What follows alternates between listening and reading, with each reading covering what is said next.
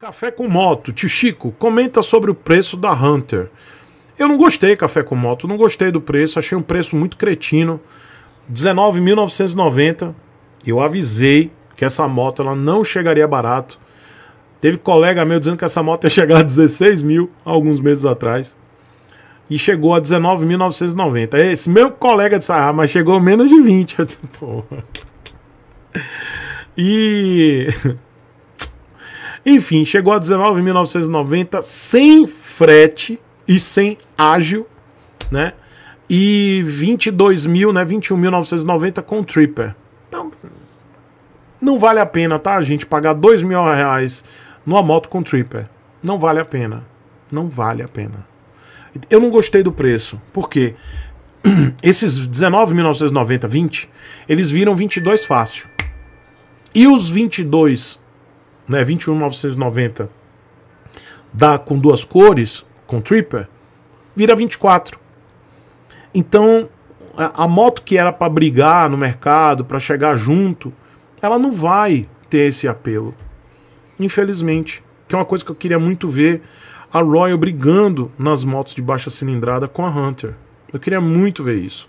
A Hunter é uma moto pesada, e é uma moto de 20 cavalos. Ela é muito segura, muito completa. Como eu falei, é uma moto que tem ABS nos dois canais. Ela é completinha, ela é linda. É a moto mais linda da Royal, tá? Ela é linda, é uma coisa linda. É uma moto que dá para todas as estaturas, né? Pessoas baixas, pessoas altas. É uma moto leve comparada às suas irmãs Meteor e a Classic. Mas não vai convencer as pessoas que estão fora da bolha da Royal. Né? Não vai convencer. É o, é o que meu irmão Ricardo falou no vídeo dele de hoje. Então as pessoas que estão dentro da bolha da Royal, elas vão comprar Hunter porque gostam da Royal. É uma moto muito boa para rodar na cidade. Não estou desqualificando a moto de forma alguma. Eu tenho esse motor 350. Eu tenho uma Classic. Mas eu preciso dar real como crítico. Então a Royal ela tinha que trabalhar um preço menor para poder chamar as pessoas que estão fora da bolha da Royal. São essas pessoas que querem uma moto estilosa, uma moto um pouco mais potente, que eu digo comparado às motos de 14, 15, 12 cavalos. Entendeu? Uma moto que dá para você fazer um pequeno rolê na rodovia, que dá para você fazer aquele rolezinho de final de semana. Uma moto que tem muito torque, econômica, bonita. Mas só que essas mesmas pessoas que estão fora da bolha da Royal. Não estou falando da galera que já é da Royal, que gosta desse tipo de moto. Não estou falando dessa bolha. Mas a galera que está fora vai olhar para para Hunter e vai pensar assim: pô, cara, 22 e 24. Vai ser isso aí, tá, galera? As concessionárias, elas vão cobrar essa faixa aí, 22 e 24. 22 a moto a standard e 24 a com tripper. Porque lembre-se, esse valor de Cinderela aí, que a Royal anunciou, é preço de site, é preço de Cinderela. Nem todos os concessionários vão praticar esse preço, porque tem ágio, tem o frete incluso. Aí o cabra que está fora da bolha da Royal, ele vai olhar assim, pô, 20 cavalos, quase 200 quilos, moto bonita, segura, ABS nos dois canais, nas duas rodas, linda. Aí ele vai na Bajaj. Ele é assim, pô, dominar 200. Arrefecimento a água. ABS só na roda dianteira. Mas 24 cavalos. Pô, 24 cavalos. Moto mais com cara, né, mais contemporânea, porque agrada a galera que tá fora da bolha, gente, entendam. Moto com farol redondo hoje tem um, um, público que gosta, mas tem muita gente que não quer mais moto com farol redondo. Eu sou do público que gosta do, da moto com farol redondo, moto, moto com cara de moto. Mas tem gente que não tá nem aí. Quer painel é, com, com. Enfim, quer algo contemporâneo. E geralmente essas pessoas estão fora da bolha da Royal. E aí o cara vê assim, pô, quanto é uma Dominar 200? Com 24 cavalos. 4 cavalos a mais, isso faz diferença numa moto de baixa cilindrada. É, e a manutenção mais barata. A manutenção da Bajaj é mais barata do que a da Royal. Bem mais barata. Bem mais, tá? Aí o cara bota na ponta do lápis e vai na Bajaj, pô. Qual era o apelo da Royal? baixar o preço na aquisição. Esse era o apelo lá há dois, três, cinco anos atrás. Né? A Royal ela tinha um preço muito atrativo, preço de aquisição da moto. O preço de manutenção sempre foi caro, mas o preço de aquisição era muito baixo. Então isso atraía a pessoa de fora da bolha para tentar numa Royal, na moto diferentona.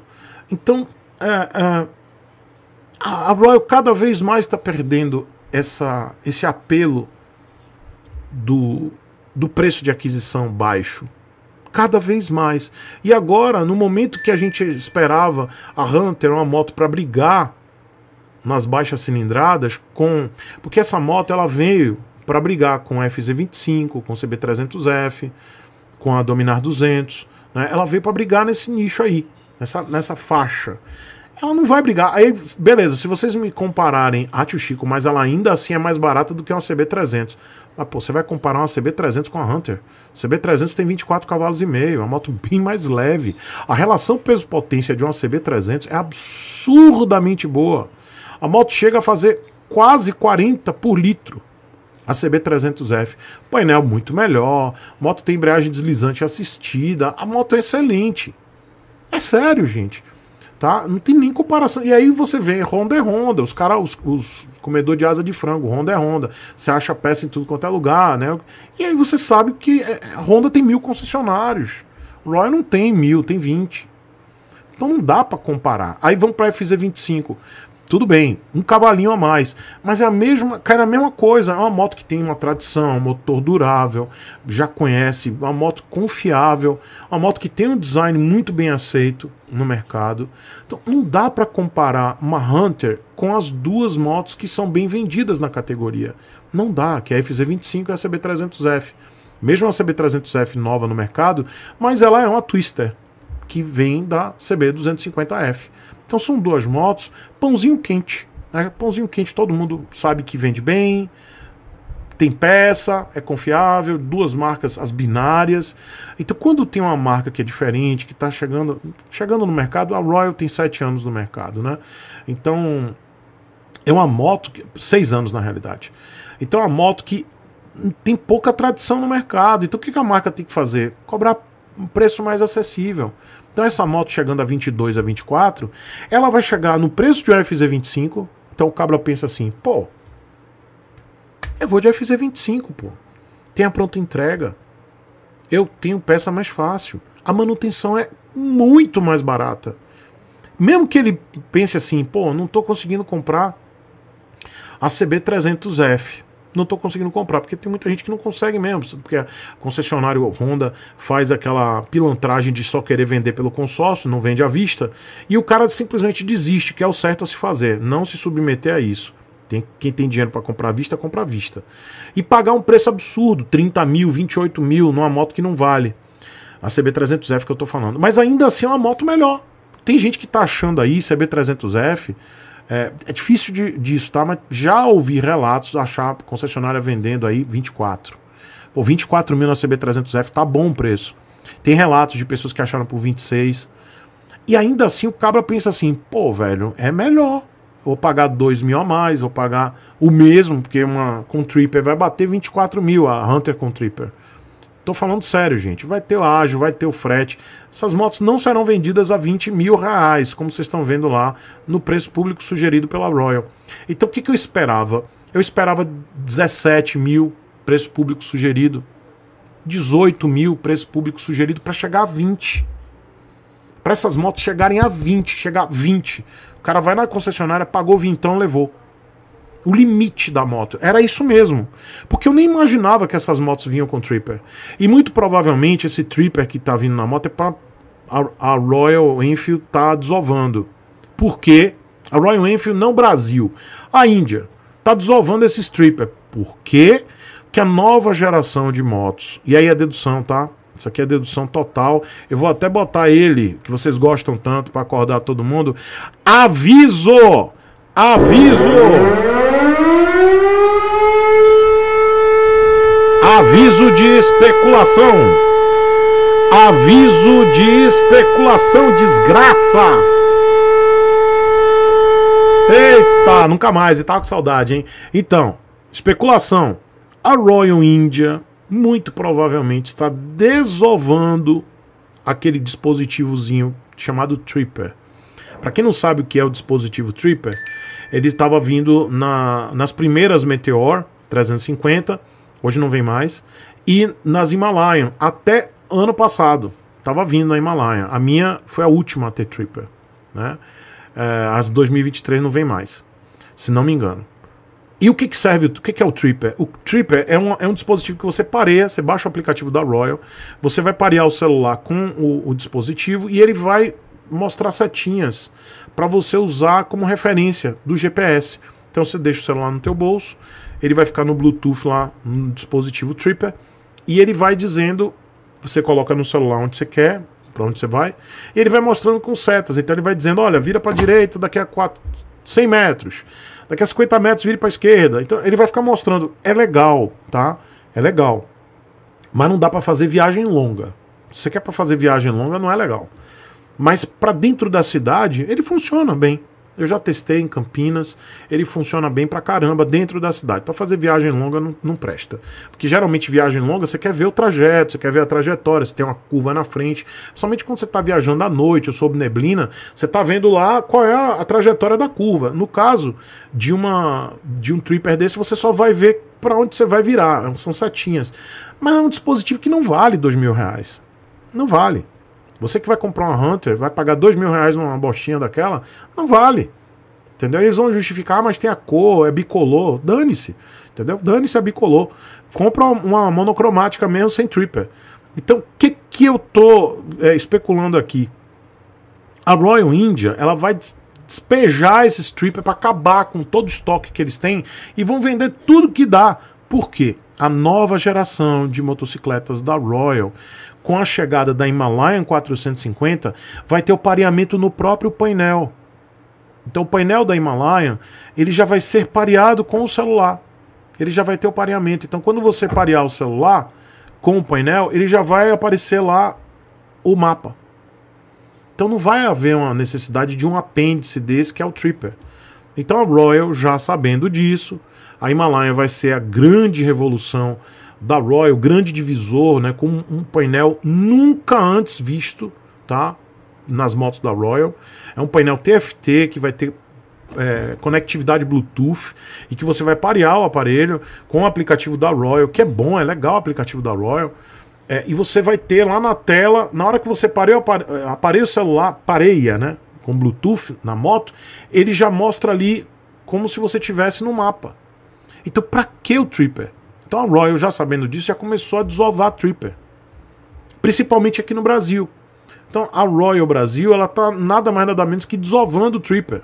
Acabando com o Tripper, porque esses Tripper eles não vão servir para mais nada nas próximas gerações de painéis das motos tá? Isso não é para agora, provavelmente eles vão desovar tudo até 2025, 26, para quando as novas motos ou as atualizações terão esses painéis novos que virão com a Himalayan 450 que será é, lançada na Índia agora no dia 1 de novembro.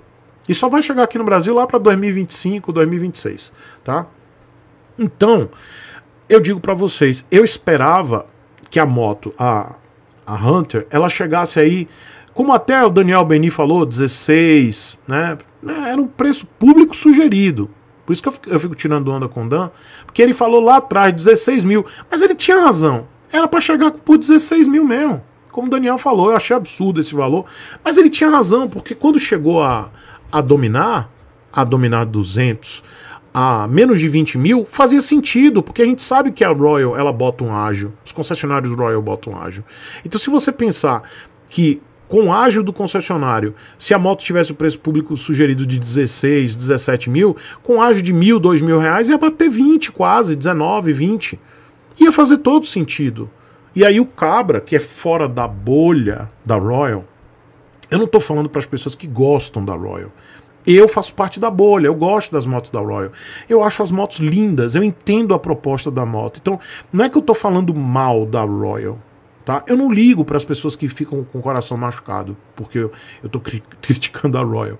Essas pessoas elas têm problema mental.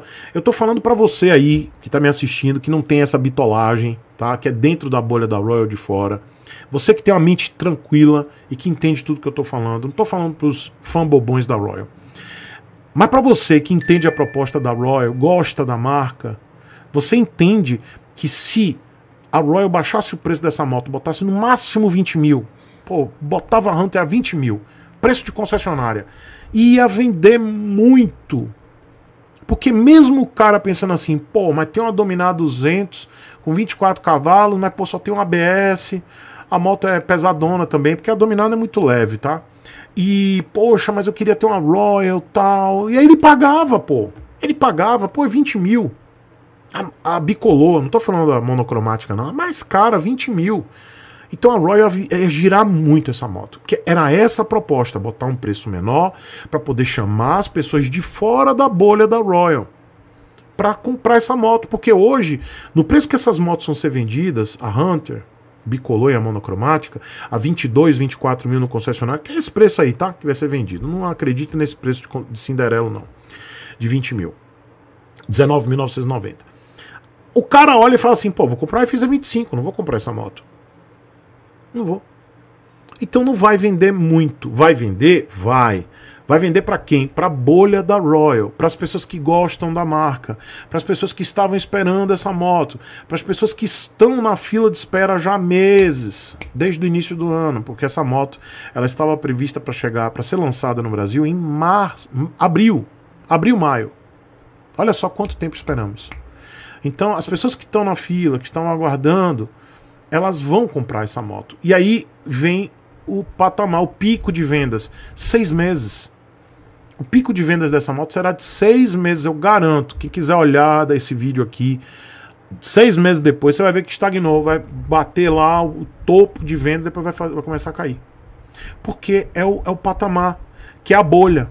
A bolha da Royal vai comprar essa moto, vai comprar, vai comprar. Depois, as pessoas de fora da bolha, que é o que realmente vale para a marca furar a bolha e, e, e, e, girar e realmente lucrar, elas não vão acreditar nessa moto, porque o preço da manutenção é caro. É o grande calcanhar de Aquiles hoje da Royal Brasil. Antes era o quê? Baixa qualidade, em extremo, quando ela chegou aqui, né? Os caras simplesmente tiravam da caixa e não, não se preocupavam com a qualidade de, de controle de qualidade. Foi isso que os primeiros compradores de Royal passaram, muito perrengue, né? problema de estequiometria, ou seja, misturar combustível que dava pau no cabeçote de, da, da Himalaia, de outras, né? Bullet deu muito pau também. Bullet Classic. Gente, deu muito problema no início.